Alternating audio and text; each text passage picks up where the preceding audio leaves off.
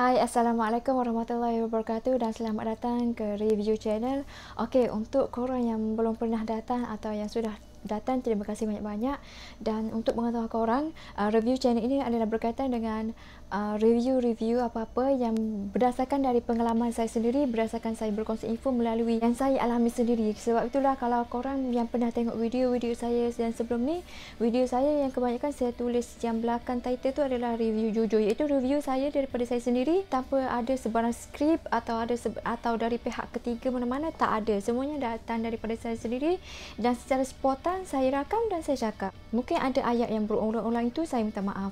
Dan apa yang penting, yang belum subscribe, silakan subscribe dengan cara korang subscribe channel ini adalah sebenarnya dapat membantu saya untuk lebih baik dan untuk membangunkan channel saya dengan lebih baik dan membantu saya dalam apa-apa segala yang untuk lebih baik. Dan terima kasih banyak-banyak.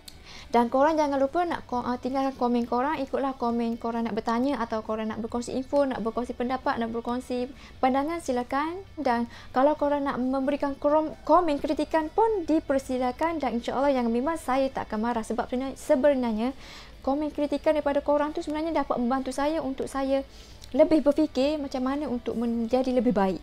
Okey. Okey, untuk video pada kali ini saya ingin berkongsi satu produk uh, produk rambut yang saya sendiri guna dan saya sebenarnya tak ada dah lama sangat saya guna produk tu.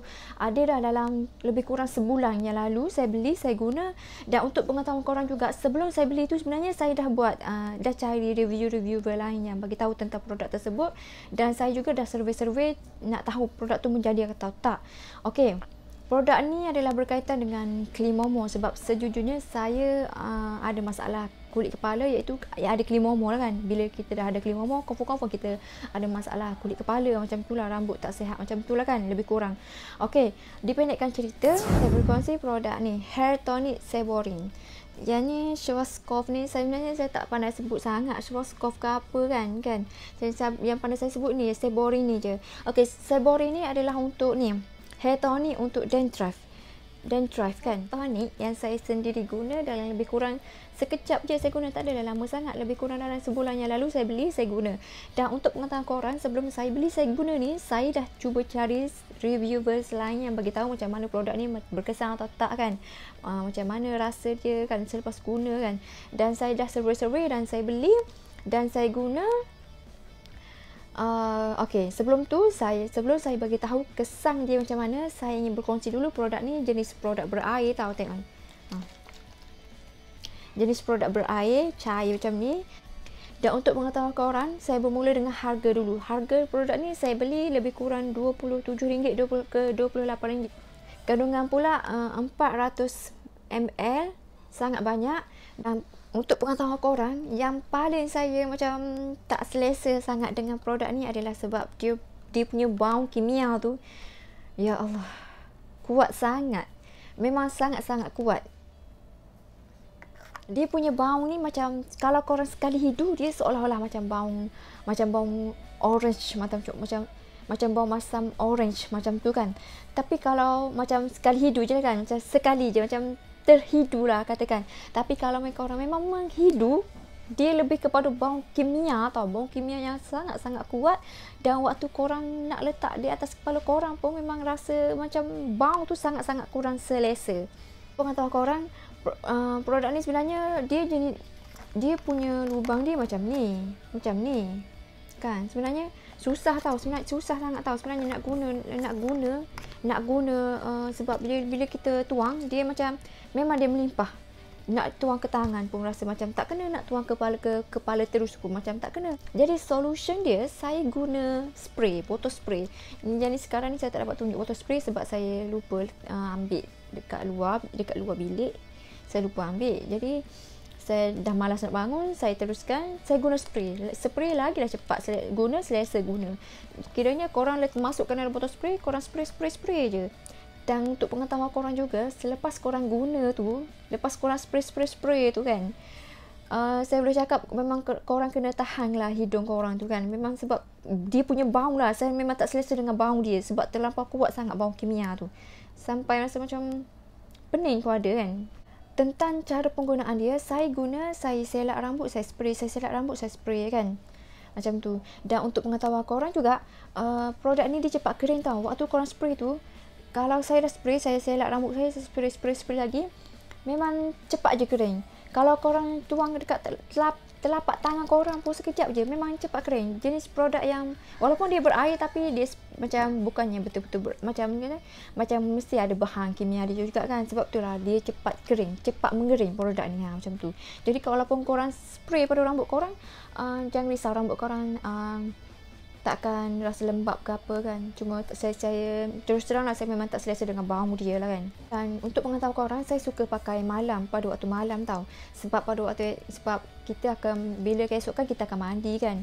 Okey saya tak suka pakai uh, waktu yang biasa-biasa ni sebelum mandi ke nak nak pakai, nak pakai memang tak selesa. Sebab untuk pengetahuan korang selepas korang pakai ni kalau bagi saya lah kan selepas saya pakai ni rambut saya jadi mengeras tau. Bukan mengeras yang kita macam rambut pacak atau apa tak. Jadi macam rambut korang macam seolah-olah sebulan tak shampoo. Ah macam tu. Macam korang boleh rasa tau rambut korang macam kusuk masai macam tu keras kusuk macam tu ha. sebab tu saya suka pakai malam. Bila dah pakai malam esok kan kita dah mandi kan. Kita dah shampoo dah mandi dah selesa. Okey untuk pengetahuan korang selepas saya penggunaan saya selama sebulan saya pakai ni lebih kurang sebulan saya pakai guna ni uh, sebenarnya saya tak pastilah menjadi ketak kan. Sebab saya pernah pakai dalam waktu dalam masa 2 minggu sebelum ni saya pakai saya biar lepas tu saya biar rambut saya saya tak shampoo saya tak tak shampoo kepada saya sebab saya nak tengok berkesan atau tak sebenarnya. Tapi ternyata kelimomo tu masih ada. Ha, dalam masa 2 minggu saya guna ternyata kelimomo tu masih ada. Uh, sebab saya test saya sendiri saya cuba tak shampoo dalam masa seminggu memang ada masih ada kelimomo itulah yang saya rasa.